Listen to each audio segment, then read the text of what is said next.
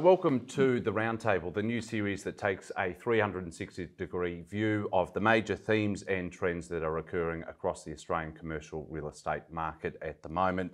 In this special BTR edition, we have alongside us Chris Key, Managing Director of Australia for Greystar, and of course, Julian Anderson, Director of architectural firm Bates Smart. Moderating the discussion today is Josh. Josh, nice to see you. How are you going? Yeah, good. How are you? Very well, thank you. I thought we'd open up our discussion, Chris, with Greystar's entrance into Australia. What what made the local market attractive to the business? Yeah, I mean, we've been in obviously the US for a very long time. The business started back in 1997. The international expansion started in 2012, post crisis, and um, we moved into moved into Europe. We moved into to Latin America, and I think what really became you know obvious to the business was that the the thematic around um, housing housing shortages, rental accommodation, the mindset of a younger generation towards ownership there was a series of themes which repeated across geographies. So it didn't matter whether you were in Australia, the UK, continental Europe, parts of Latin America, and we have now have businesses in Brazil and in Chile and other parts of Latin America. There was this underlying trend which was going to expand well beyond the limited amount of countries which it was already present. Did the dream of owning your own home in Australia affect the view on whether to enter this market? Nope. Not, Not at all. No. Um, I think you know, and and there's been um, you know along this journey, and I've been on the journey for sort of four and a half years or so. Um, you know, I've had plenty of people along the way tell me uh, Australians different. No, it won't happen. Um, in, in all sorts of forums, um, be that private, public forums, um, you know, wherever that might be. Um, and you know, I had very early on advice from our CEO and founder who said to me, "Look, Chris, you're going to experience people who will tell you that you can't do it. It's different here, and you know it won't work. He said, "I've had that same experience in every place we've been to," and I, I, I agreed with him. So the focus then of a Greystar is inner city living, and your site selection process in, in assessing sites. When I picture a site in a city, yep. as a brief snapshot, what are, what are you looking for to cater to that demographic that you just spoke yep. about? Yep. Um, so yeah, so I'd say we've got more of an, an urban focus in, in in Australia. We're a very urban population as a country by comparison to a lot of other um, a lot of other nations. If you look at our US business, we're you know we're right across the map. You know, we are in so many different states with all types of different products, but there's a number of different reasons why that model doesn't necessarily apply in Australia. Mm-hmm. The things we look for, I guess, you know, in those urban locations, it's what does the age demographic look like, and do they sort of slot into, you know, the right um, characteristics that typically would rent homes from us. Um, so we scrub through that data. We look at obviously transport links. We look at the local offering in terms of lifestyle amenity, and they're probably the main the main things that we they, that we look for. Julian, I just want to bring yourself in here. in terms of the build to rent sector, I'd be interested to get a, your perspective on when clients started yeah. to approach you looking for schemes that could fulfil the build to rent style product. Yeah, sure. We um, look at. I, I think it really started on the back of the slowdown in the large scale build to sell environment, particularly in Melbourne, which happened at the end of 2018. We were working on a number of very large tower build to sell projects in central Melbourne that actually, I guess, in a sense, really fell foul of the, the changes that APRA in, introduced at that time. And, um, you know, deliberately there was then a slowdown in, in, in that market. And we were approached by uh, Grocon, now the home business, and they said, look, we're really keen to get into this market. Daniel's been Daniel Grollo's been living in New York for a long time. He understands the the build to rent environment. He understands the, the, the, build to rent market very well. And uh, the project that we're, we're doing with, with Home at the moment will be complete in the next couple of months. It's on City Road in, South in South Bank. It's 400 apartments. So that process really kicked off on a study tour we did with, with Grocon back at the beginning of 2019. We went to 35 properties in in the in the US, lots of Greystar properties, um, and learnt learnt a huge amount. And so we were very like we were very fortunate to get engaged by them, and that led to a design process on that project, and then that translated has now translated into multiple other build to rent projects, and we've really developed the brief on each of those pro- projects on the back of what we learnt on the study tour, and then on the back of what we've learnt as we go through the through the pro- process and, and refining it for um, you know for our local clients and, and, and, and the people that are going to be I- Is it dramatically different? Like you, you do residential projects every day of the week. Th- Is a build to rent project a dramatic change in the way you go about designing a building? Oh, look, it's a bit different. I mean, I, I- it was interesting to see places like New York, Manhattan, some of the provision around amenities off off the charts. And I was actually looking at some numbers today, and I saw that what one of the the Eugene project, Brookfield, for example, which I think it's 800 apartments, got there's an arms race in terms of amenity in in in those central cities, which I'm sure Similar to office, really, in a yeah, yeah, exactly, exactly. We were very conscious not to try and, you know, pursue that here because that competition does doesn't exist. In terms of the comparison between build to rent and build to sell, there's there's a few key differences. For example, our tower build to rent projects, we're consistently putting amenity at the top of the building hmm.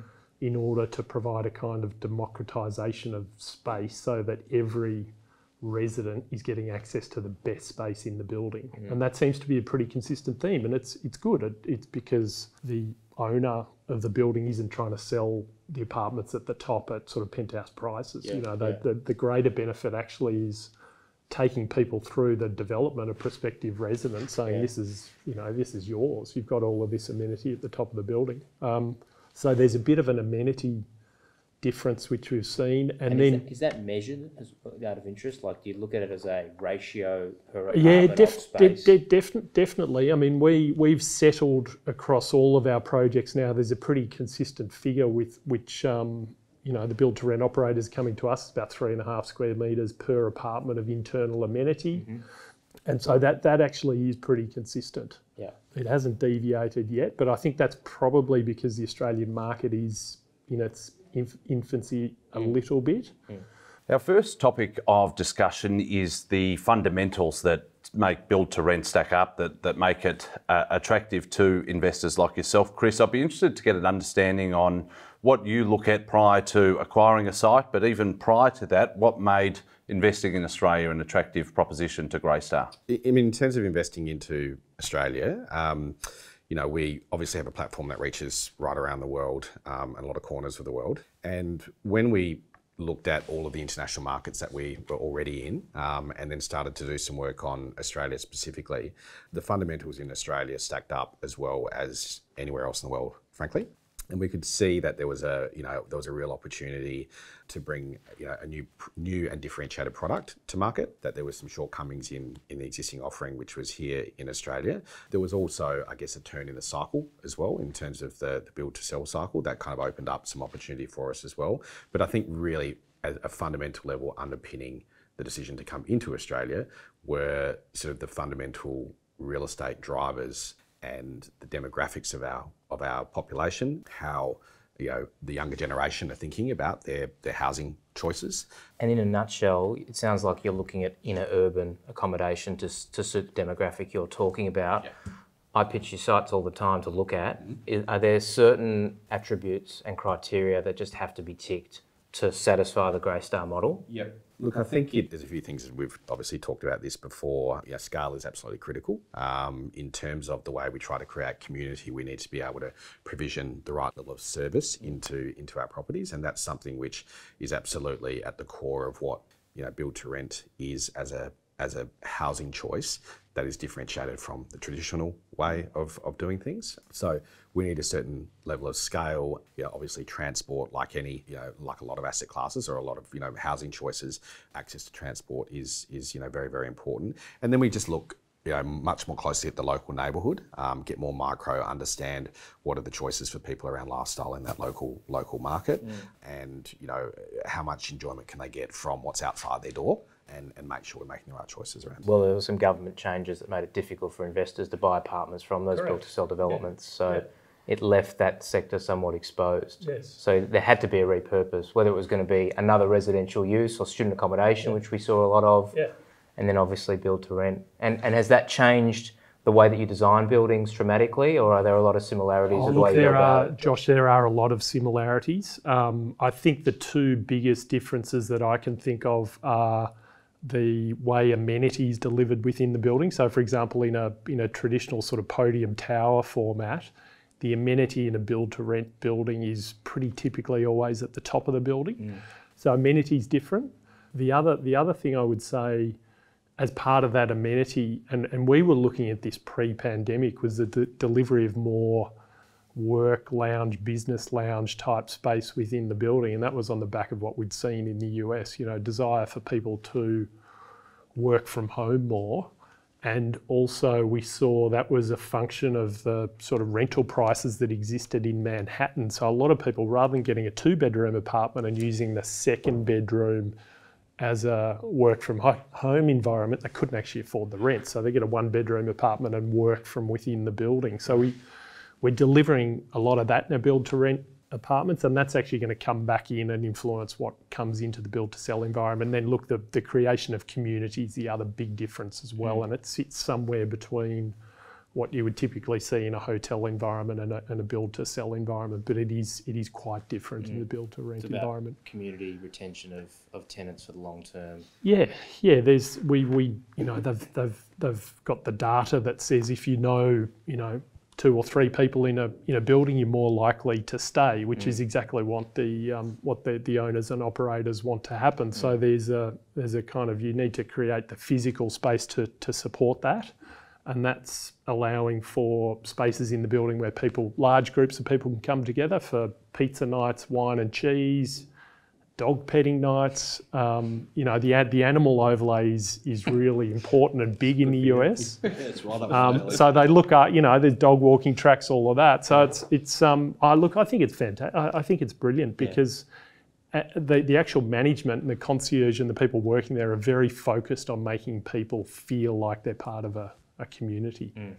And speaking of building, you're coming out of the ground with two projects in Melbourne at the moment. Yep. I think offset, you said we, you have been going for about four and a half years mm-hmm. now, looking for appropriate sites, one in South Yarra now, one in South Melbourne. Um, how, how's all that going, first and foremost? When, when are you expecting delivery? And are you finding that the design and delivery process, again, is, is informed really well by that global mm-hmm. team that can give you that input? Yep. Because there's not as many groups coming out of the ground as are, they are talking about building build to rent. No, You know, that's right. which is you know just a function of time, I imagine. Yeah. But, but it's also a function also of, of capital willingness because of the intensity of, of, of you know, the amount of capital required to do these projects is quite large. Mm. And, you know, the, the, the people who look after that money, say whether it's a pension or a sovereign or, or a local Aussie super fund, you know, they want to know that they're going to be allocating that capital to someone who they can trust. Um, so, yeah, those two projects, South Yarra, South Melbourne, um, first on board in 2019, second on board in 2020. They will be starting on site this year. Uh, I would say South Melbourne will start somewhere around May, June. Um, we're talking Q3 for South for South um, for South Yarra that's all progressing well. We're through planning on South Yarra. We're still sort of in the system with, with South Melbourne, but it had an existing permit that we've just repurposed. So that's all going going along fine. I think we're on schedule for sort of 24, 25 delivery um, for, for those two for those two projects, and there'll be some staging with, with that as well. Julian, in terms of the landscape and growth of the build to rent sector, I'd be interested to get your gauge on what you're seeing are the demand drivers for your clients in terms of pursuing BTR projects. Um, oh, the drivers. Look, I think um, I think probably in. I mean, we, we have offices in both Sydney and Melbourne. We have about 140, 150 in Sydney, and the same the same number in, in, in Melbourne. I think probably in the last two years, you know, obviously the the sort of design pipeline's been a bit slow with the, the pandemic, but I.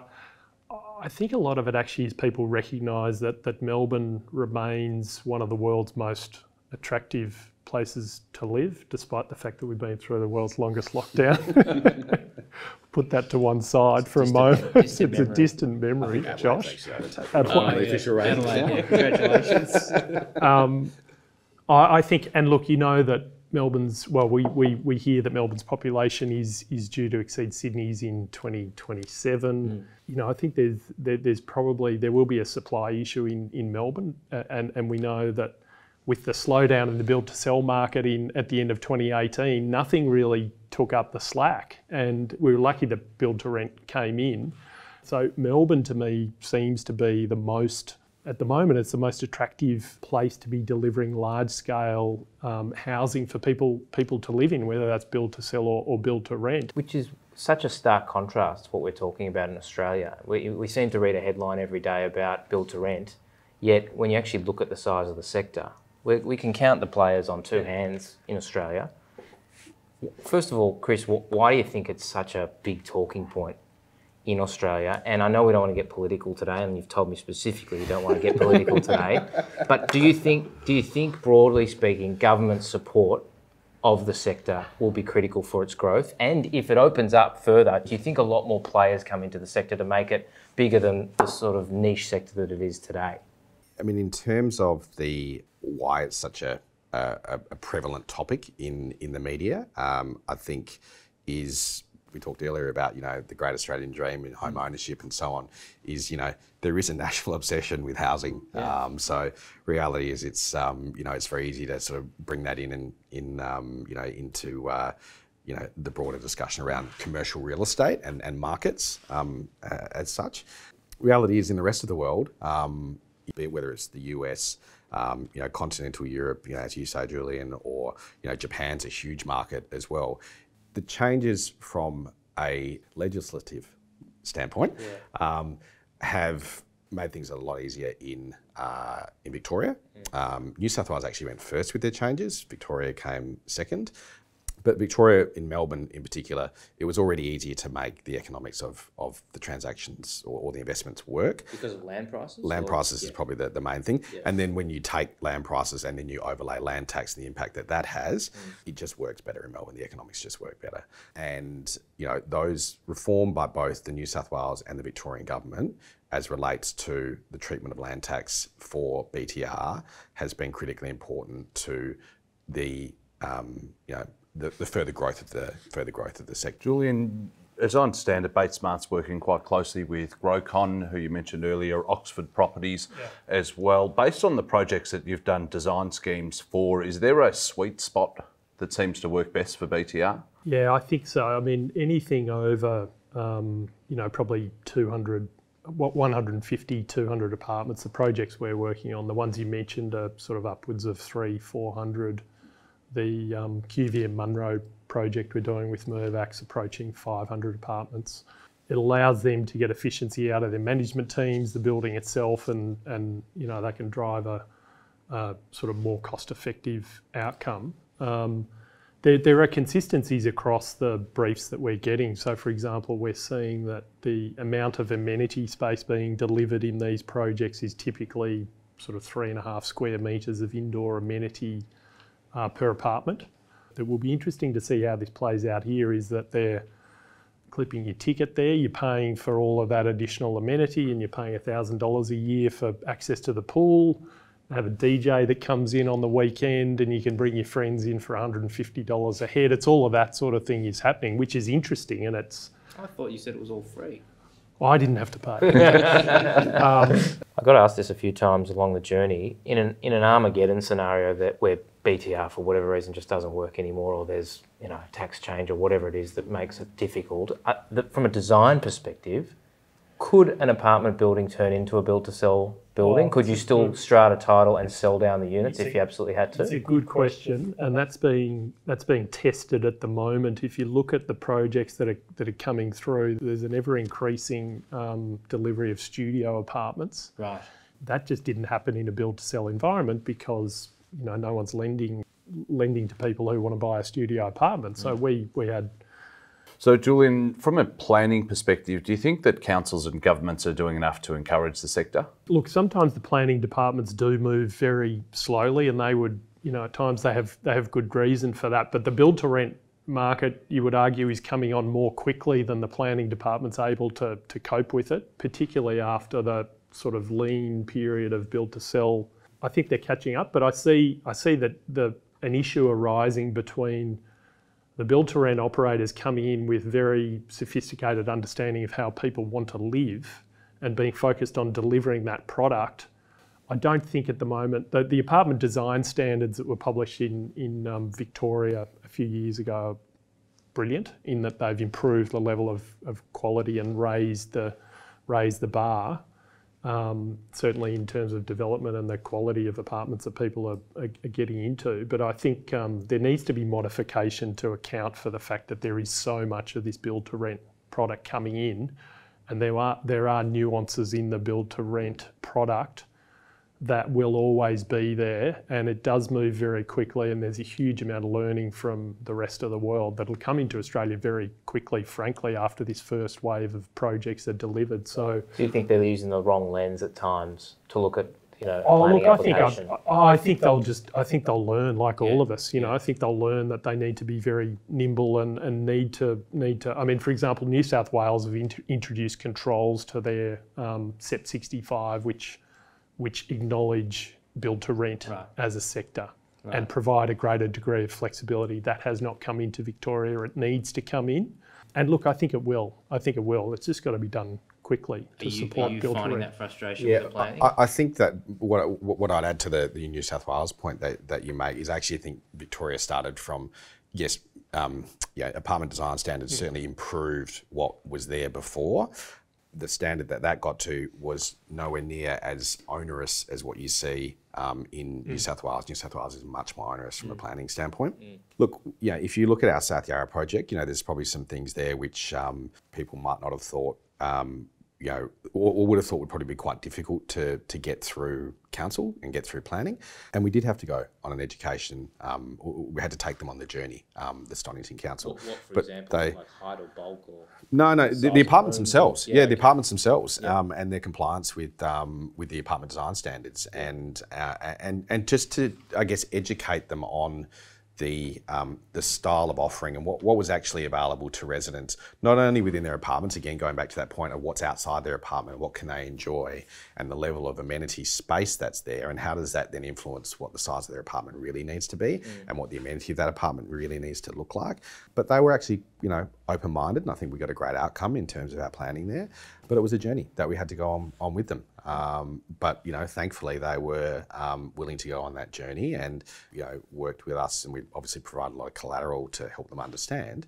It was a journey for us to go on, and and you know, thankfully got to the right outcome. And from all accounts, that outcome's been really positive. Yeah, for and, sure. and should really re reignite that little uh, Forrest Hill precinct within South Yarra. I think it's, you're connecting from Claremont all the way through to Yarra Street. Is that right? Yep. And you'll be able to walk through. Yeah, we're cutting a laneway on the southern boundary. Um, we'll activate that with some with some retail and some other uses along there. So yeah, look, it'll create another connection, which which was actually the original you know vision for the precinct was Yeah. a series of laneways that ran down connecting Claremont and, and Yarra, and this was the missing piece, but it had different owners, so they could never cut through, kind of thing. So yeah, look, hopefully it is um, a bit of a, a changer for for the precinct. Um, time will tell, but um, you know, we're pretty pleased with the outcome we got there. Yeah, good on you. Just one final question for each of you, starting with yourself, Josh. You've sold quite a number of sites to build to rent players in the past 12 months. What, what impact has that had on values and what impact do you think it'll have in the next 12 months? There's been a lot of change in the space. Um, you know, we've been selling development sites for nigh on a decade now, and, and the, the shift in um, the tastes and demands of developers has definitely been apparent, particularly over the last four or five years. Um, from, from a build to rent perspective, it's a very strict criteria around where it is and what it is and the sort of scale that you can achieve there and what the demographic drivers are going to be and what's going to drive that rental growth into the future. And a lot of that is sometimes not something we can sell as agents. It's more up to the, the purchaser to make their own decision around what the future is going to hold for that area. But by and large, if it's an inner city site um, that is capable of, of accommodating 150 to 200 units plus, uh, depending on the model of the developer, um, we're finding there's a, a real increase in interest from build to rent players that are looking to get more exposure into the sector, build up a portfolio or a critical mass of apartments. That competition isn't isn't necessarily pushing prices to what people like to think are record levels. I think it's just a reignition of interest in a space which was really starting to fall away from the traditional build to sell developers. So um, yes, it's you know it can be quite aggressive, but they're all built. They're all working off a pretty strict feasibility, and it's it's a total return feasibility where you know if the settlement's shorter, the price is is lower. If the if the settlement's longer, the price can be more attractive. But there's not a lot of movement in the way that these these calculations are put together, and sometimes that can be beneficial for the landowner who's selling, but other times it, it's it's by and large in the same pack as all the other developers. So it is it is site specific, but you know some recent transactions we've handled.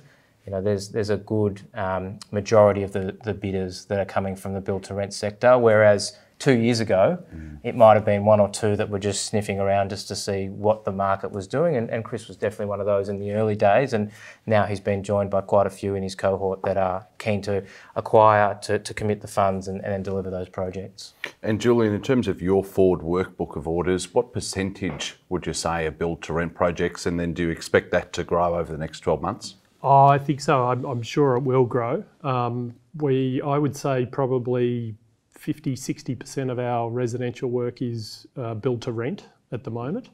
Um, and I think as, as these projects get delivered, you know, as I said, City Road project with um, with Home will be finished in the next month. Um, QV and Munro with Mirvac will be finished at the end of the year. I think people will start to gather the data and, and look at these projects and see that they're real and that their occupancy rates are, you know, getting up to the levels they need to be. And I, I, I think we'll see a lot more of these. And then I think what we'll see is some of the, the, the people who are, some of the, the large scale Australian um, developers and super funds who are sitting back waiting for the first wave to come through. They'll, they'll get into the market in a big way. And I think it's, it's coming to Australia. Population growth is, is something Australia needs to grapple with, and we need to continue to deliver product and places for people to live. And this, this is, you know, this is one key component of that. As I understand it, Greystar raised around about 1.3 billion in funds last year to support your build to rent projects in Australia. What what percentage of that has been allocated and, and what's left to deploy over the next six or 12 months? Yes, well, we're about um, a third of the way through so far.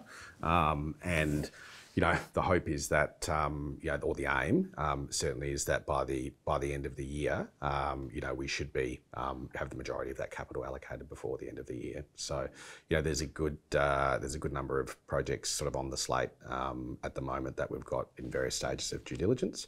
But you know, we, we expect this to be a pretty active year, um, and hopefully, you know, Josh can dig a couple of extras out of his uh, out of his back pocket. I've got a few brochures.